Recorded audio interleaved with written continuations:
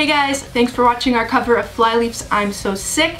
Thank you so much to Halocene for getting this cover together. I'm so glad we finally got to do a cover together. If you guys head over to Halocene's channel, we did a collaboration of Chop Suey by System of a Down and Violet Orlandi's on that too. It's crazy. So head over there, subscribe to Halocene, and subscribe to Violet and I'll see you guys in the next video. Thank you so much for watching.